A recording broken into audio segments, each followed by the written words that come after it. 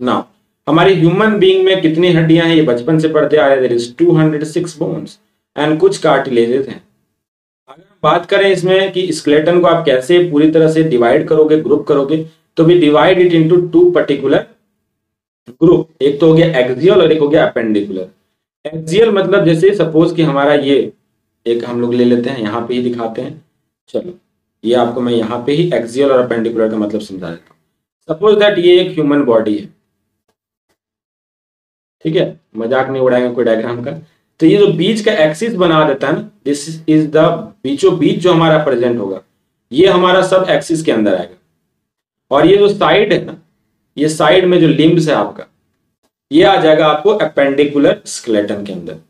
और बीचों बीच जो हमारा प्रेजेंट है that is the axial skeleton axial skeleton के अंदर आपको देखो लिखा हुआ है यार एनसीआरटी ने उसमें कितने हड्डियाँ रखी है? इट इज़ 80 बोन्स एक्सियल के अंदर कितने आ गए? It is comprises of 80 bones जो कि मेन एक्सिस बनाता है हमारे पूरे बॉडी का. It will forms main axis of the body इसमें आपका स्कला स्कल आ जाएगा. आपका जो स्कल है, खोपड़ी. वर्टिब्रल कॉलम आ जाएगा. स्टर्नम आ जाएगा. रिप्स आ जाएगा. वर्टिब्रल कॉलम पीछे की तरफ़ स्टर्नम हो गया. रिप्स हो गया यहाँ जो आप जानते हो रिप केज तो ये आ जाएगा इसके अंदर. समझ आ गया?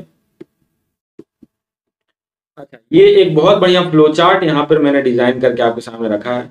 इसमें आप देखो ह्यूमन स्केलेटन को हमने क्या बोला? एक एक्सियल और एक अपेंडिकुलर एक्सियल में हमने बोला स्कल वर्टिब्रल कॉलम स्टर्नम और रिप्स तो स्कल में टोटल अगर हम बात करें फेशियल बोन और आपके क्रैनियल बोन दोनों को अगर जोड़ लिया जाए तो इसमें आपके देर इज़ ट्वेंटी नाइन यहाँ पे देखो स्कल को फिर यहाँ डिवाइड किया गया। जो ट्वेंटी नाइन बोन्स बोला ना मैंने, वो कैसे बोला वो ध्यान तो क्रैनियल बोन्स आपके एट हो गए. There is eight cranial bones facial bones आपके फोर्टीन हो गए.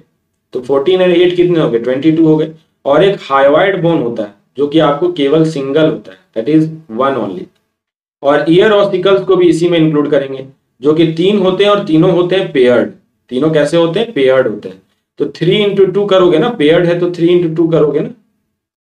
पेयर्ड है कि नहीं? दो कान है ना? तो थ्री इंटू टू करते हैं. तो यार सिक्स तो अगर हम बात करें तो देखो ट्वेंटी टू इधर ही हो गया था और सिक्स यानी ट्वेंटी एट और एक यहाँ पे वन ट्वेंटी नाइन हुआ कि नहीं? तो स्कल बोन्स कितने हो गए? ट्वेंटी नाइन हो गए। Vertebral columns twenty six a sternum single bone होता है और रिब्स में आपको ट्वेल्व पेयर्स ऑफ़ बोन्स दिखते हैं। तो कैलकुलेट करके देखो twenty nine twenty six and one पहले तो ये कैलकुलेट कर लो पहले। कितने आ गए? And six. It is and twelve pairs हैं। तो ट्वेल्व पेयर्स को आप कितना लिखोगे? ट्वेंटी फोर लिखोगे ना? ट्वेंटी फोर लिखोगे कि नहीं? टेन एंड यहाँ पे हो गए सिक्स और सब क्या हो गया भाई? कैसे जोड़ दिया? यहाँ पे तो कैरी था ना फिफ्टी सिक्स इधर आ गया सर अब आ गया एट्टी समझ आ गया कैलकुलेशन एक्सियल स्केलेटन सिस्टम का। 29 प्लस 26 कितने आ गए? 56 होंगे ना। और यहाँ 24 क्यों लिखा? क्योंकि रिब्स में 12 पेयर थे। तो 12 into two that is 24 that is 80 bones तो एक्सियल का तो खाता क्लोज हो गया। एक्सियल हमने समझ लिया। अब आ जाओ अपेंडिकुलर में। अपेंडिकुलर बोन्स में आपकी 126 हड्डियाँ तभी तो जाके one one twenty six and eighty तब ना यहाँ पे ह्यूमन स्केलेटल सिस्टम में हम लोग बोलते हैं कि is two hundred six bone there is two hundred six bone तभी तो बोलते हैं ना। तो हम लोग अपेंडिकुलर जो स्केलेटल सिस्टम है, उसके अंदर फोर लिम्स हाइंड लिम्स ठीक है? फोर लिम्स आपके पास कितने होते हैं बच्चा? There is two four limbs hind limbs कितने हैं? दो हैं। है ना? तो इस तरह से थर्टी को मल्टीप्लाई करते हैं क्योंकि एक आपके लिम्स में थर्टी तो दो आपके फोर लिम्स यानी कि सिक्सटी और एक यहाँ हाइंड लिम्स में होते हैं थर्टी तो अगेन हाइंड लिम्स दो है ना? तो सिक्सटी एंड सिक्सटी हो गए। यहाँ वन ट्वेंटी हो गया। और पेक्टोरल गर्डल और पेल्विक गर्डल दो गर्डल होते हैं। ठीक है? Pectoral girdle and pelvic girdle तो पेक्टोरल गर्डल में चार हो गए। दो इस तरफ़ दो इस तरफ़। और पेल्विक गर्डल में आपके दो ही बोन होते हैं। फ्यूज्ड होते हैं, दो ही बोन होते हैं। तो आपके छह इधर हो गए। तो 120 एंड 6 126 बोलो क्लियर है पूरा कैलकुलेशन आपको समझ आ रहा है या नहीं आ रहा है? ह्यूमन स्केलेटल सिस्टम में देर इज़ 206 बोन एक्सियल में आपके हो गए 80 अपेंडिकुलर में हो गए 126 एक्सियल में कौन कौन से स्कल में हो गए? 29 वर्टिब्रल कॉलम में हो गए 26 ठीक है? स्टर्नम में एक हो गया रिप्स में 24 हो गया 12 पेयर्स हो गए अपेंडिकुलर में लिम्स को अगर ले लें तो फोर लिम्स में ऐसे 30 30 60 हाई लिम्स में 30 30 60 पेल्विक गडल में चार और पेक्टोरल गडल में सॉरी पेल्विक गर्डल में दो और पेक्टोरल गर्डल में चार। हो गया ना 126 अब कहोगे सर, ये जो क्रैनियल बोन है, उसमें सबका नाम याद रखना ज़रूरी है क्या? Frontal parietal temporal occipital ethmoid और ये सब नाम रखने ज़रूरी है क्या? याद करने ज़रूरी है क्या? So there is no need ज़रूरी नहीं है बच्चा याद कर केवल ये याद कर लो कि दो होते हैं पेयर्ड पेराइटल और टेम्पोरल पीटी बाकी सभी अनपेयर्ड होते हैं, देख लो। बस इतना याद रख लो। और इस तरह फेशियल में सभी पेयर्ड होते हैं फेशियल में सभी पेयर्ड होते हैं। केवल दो अनपेयर्ड होता है, एक मैंडिबल और एक बोलर बस। जितना बोला मैंने, बस उतना ही याद रखना है। कौन पेयर्ड है और कौन अनपेयर्ड बस इतना। क्वेश्चन अगर कभी फ्रेम भी हुआ तो बस इतना से ही फ्रेम होगा। नाम नहीं पूछा जाएगा बिकॉज़ नाम वगैरह सब कुछ जब आप एमबीबीएस फ़र्स्ट ईयर में जाओगे एनाटॉमी पढ़ोगे तो वहाँ पे आपको पूरा का पूरा नाम के साथ पढ़ना होगा। ठीक है? इनर्वेशन वगैरह सब कुछ पढ़ना होगा। मसल अटैचमेंट सब कुछ पढ़ना रहता है now ear ossicles ear ossicles में जो तीन नाम है, उसको याद रख लो एम आई एस मिस ठीक है? मैलियस इनकस और स्टिपिस ये मिस जो है ना टर्म से याद रख सकते हो मिस ये बात समझ आ गई पूरा? ह्यूमन स्केलेटल सिस्टम का पूरा डिवीज़न क्लियर है? कैसे कैसे डिवाइड किया, वो सब कुछ समझ आया?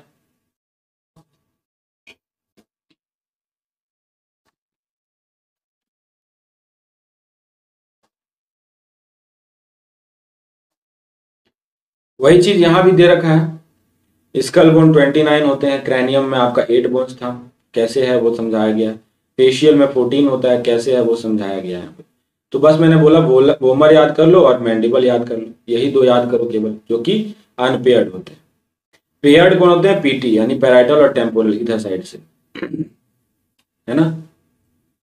अब आ जाओ इधर। वर्टिब्रल कॉलम जो आपको बताया था। वर्टिब्री जो कि आपके कितने थे? वर्टिब्री आपने देखा 26 ये 26 एडल्ट में एक्चुअली होते हैं। लेकिन अगर चाइल्ड की बात करें तो वहाँ 33 होता है, जो बाद में फ्यूज होते हैं।